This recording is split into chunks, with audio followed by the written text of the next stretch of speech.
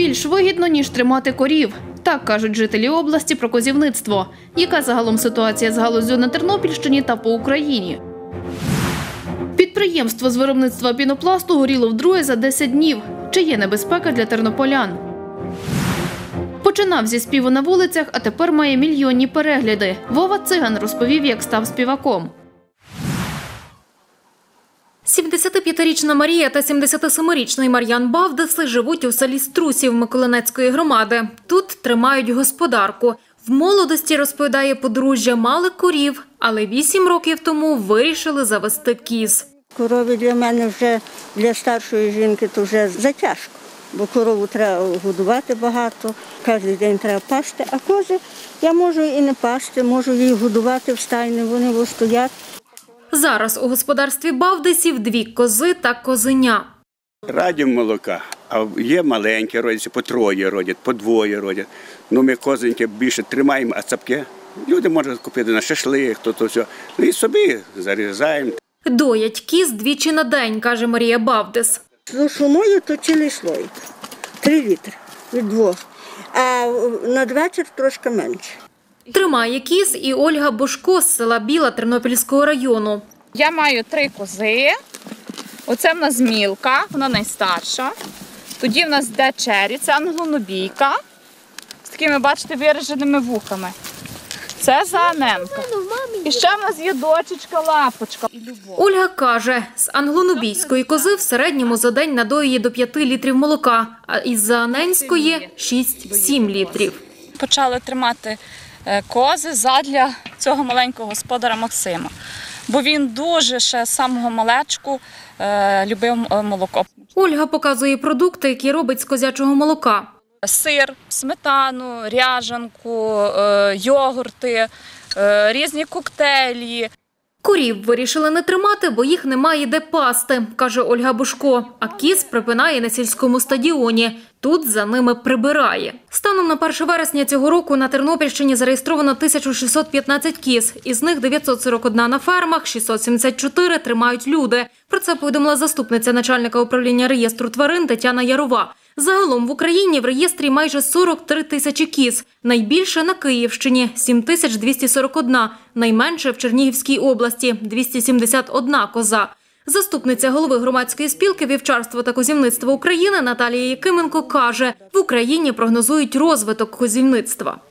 Через військовий стан зменшилось поголів'я. Здебільшого це поголів'я зменшилося Одеська, Миколаївська, Херсонська, Запорізька області. Але в цілому в Україні є тенденція на збільшення товарного козівництва, вівчарства в тому числі, е, більш свідомого через е, те, що є великий попит на українські сири. Козячі, ми вважаємо, наша спілка вважає, що з часом буде розвиватися. Начальник відділу протиепізоотичної роботи Держпродспоживслужби області Василь Яциник каже, відповідно до законодавства, люди, які тримають кіз, повинні їх зареєструвати, тобто внести дані про тварину до єдиного державного реєстру. В цій реєстрації важливу роль відіграє ветеринарні спеціалісти наші, які е, засвідчують стан здоров'я тварини. Пі- Це підписується підписом і пробивається печатка. Богдана Савицька, Андрій Міц, Оксана Галіяш, Андрій Прокопів, Суспільне новини, Тернопільщина. На підприємстві з виробництва пінопласту на Миколинецькій знову сталася пожежа. Це вдруге за останні 10 днів. Речник пожежно-рятувальної служби області Сергій Данілін розповів, повторне загоряння охопило 400 квадратних метрів. На місці пожежі працювали 9 рятувальників та 3 автомобілі. Сьогодні близько 4 години 26 хвилин до рятувальників надійшло повідомлення про пожежу на одному з підприємств вулиці Миколинецькій. Прибувши на місце, рятувальники встановили, що горить пінопласт та сировина для його вироблення. Е, Так, дійсно, пожежа сталася на тому самому місці, де була резонансна пожежа, про яку багато говорили, е, яка виникла 10 вересня цього року. Е, Необхідно значити, що поблизу місця пожежі було виявлено три е, кисневих балони, що може свідчити про те, що напередодні на цьому, на цьому об'єкті проводили зварювальні роботи. За словами Сергія Даніліна, о 5.06 пожежу ліквідували. Ймовірність нового загоряння там прокоментував так. Це буде залежати від того, наскільки керівництво підприємства буде дотримуватись е, елементарних правил безпеки. Ми зв'язалися з представниками підприємства. Наразі вони від коментарів відмовилися щодо викиду шкідливих речовин в повітря на території Тернопільської громади. Фахівці обласного центру контролю хвороб провели дослідження. Результати оприлюднили на сайті міської ради. Там йдеться, що перевищення допустимих норм токсинів немає.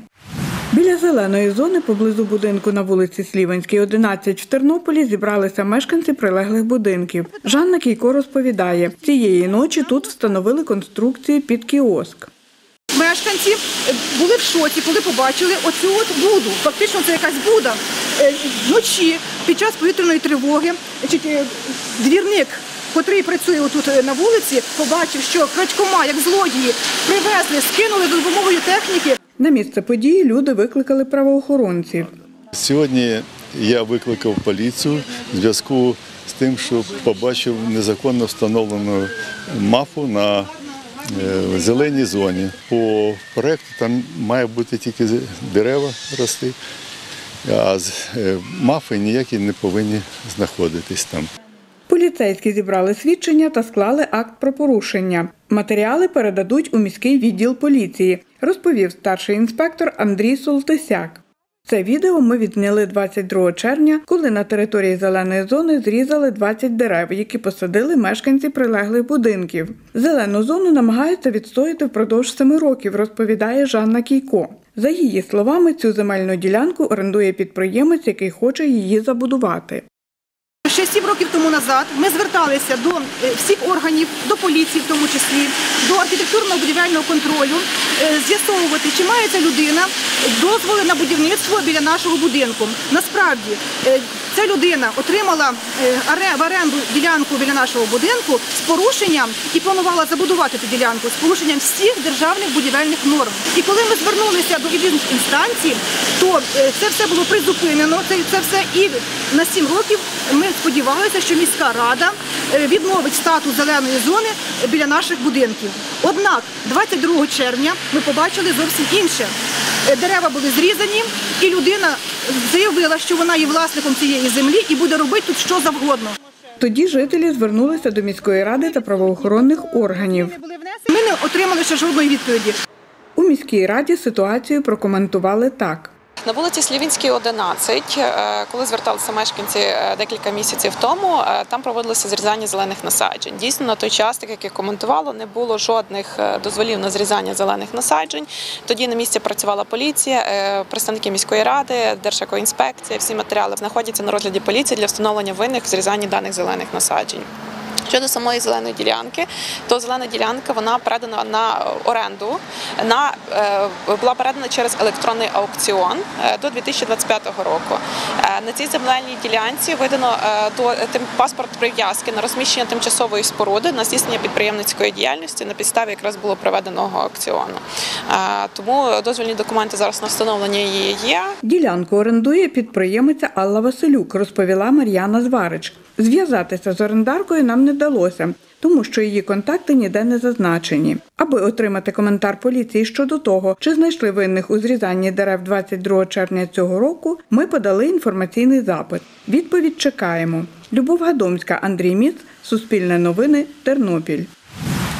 Клаб командир відділення механізованого взводу у 105-й окремій бригаді тероборони ЗСУ. Чоловік каже, пішов до військкомату з початком повномасштабного вторгнення 24 лютого. Довго сиділи, чекали розподілення. Ну, переважна більшість бригад вже були повністю укомплектовані. Нас відправили ще заночувати додому. І 25 числа я потрапив вже в 105-ту бригаду територіальної оборони.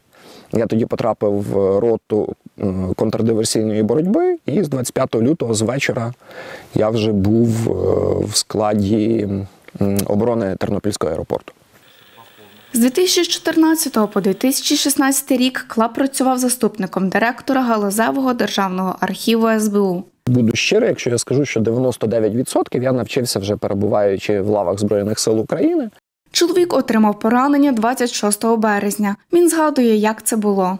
Я на власному е, прикладі переконався про те, що своєї міни ти ніколи не почуєш. Ця міна, яка летіла по мені, я її якраз не чув. Я був захований в бліндажі біля е, дерев'яної стіни, і вона акурат прилетіла. Ну, десь отак мені над головою. Вона а, вдарила в стінку бліндажа. Ну, от тут якісь такі сліди поранення. Це, власне, вторинні осколки, тобто це не осколки самої міни, це осколки деревини. Та?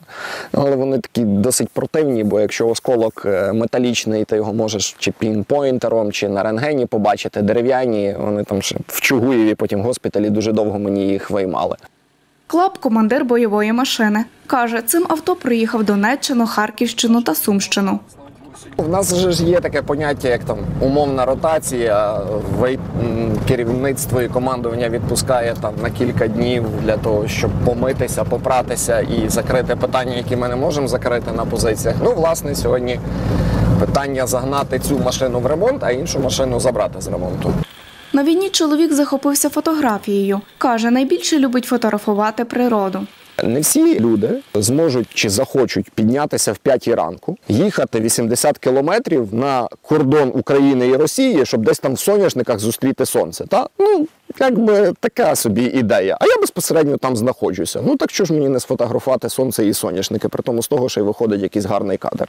Тетяна Панченко, Ірина Моргун, Людмила Періг, Суспільне новини, Тернопіль. Червону руту не шукай вечорами, ти у мене єдина, тільки ти повір. Вова Циган згадує свій перший виступ у центрі Тернополя. Розповідає, це було понад рік тому. Тоді приятель подарував йому гітару. Грати на ній навчився самотужки, каже Вова. Це було на театральній площі. Це тут, на площі у нас співав червону руту. Під час повномасштабної війни, каже, співав поблизу одного з тернопільських ресторанів. В небі чистому чути грім, в небі свистало чути гімн, в небі чистому мутний дим, горе ліс, але чути гімн. За нами правда, значить, ви стояли ваші вистріли. Каже, вулицями з гітарою ходив тоді заради заробітку. Це в день, це ми, не знаю, десь дві штуки гривень. Вова розповів, що співає з восьми років. Зараз йому 17. Псевдонім циган, каже, взяв через впізнаваність. Справжнє прізвище не розголошує. Я грав в футбол і завжди пацани були. Казали циган, циган. Не вмієш грати в футбол. Потім навчився грати в футбол, потім їх вигравав, і вони далі почали впливатися. Ну кажу, добре, навчитися грати, тоді приходьте. Його сім'я родом із Закарпаття, але Тернопіль, каже, став рідним. Хотів бити мене, я не піду з Тернополя. Не буду жити в других городах, мені тут подобається. Вова каже, раніше і не мріяв бути співаком. Бачив себе у майбутньому боксером. А взагалі я так займався боксом. Да. Спочатку ходив на тренування. Ну. Потім мене дядько мене вчив боксу. Але музика переважила спорт, каже хлопець. Почали мене знімати, набирати багато відосів, багато переглядів, багато лайків. І так я став популярним. Зараз Вова часто буває у Києві, дає інтерв'ю та планує брати уроки вокалу. Його дебютний кліп Космонавти за місяць зібрав мільйон переглядів на Ютубі.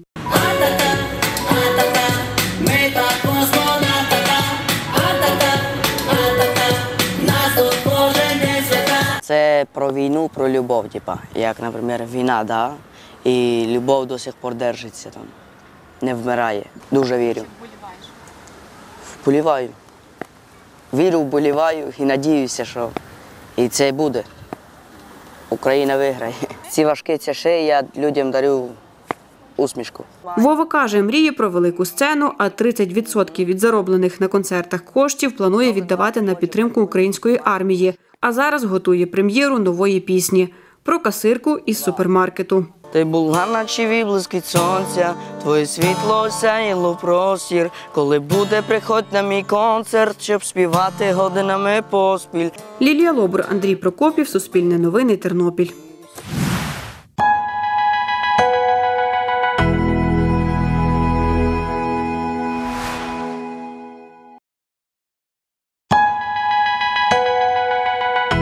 Дивитеся Суспільне Тернопіль. Підписуйтеся на Суспільне Тернопіль у соцмережах.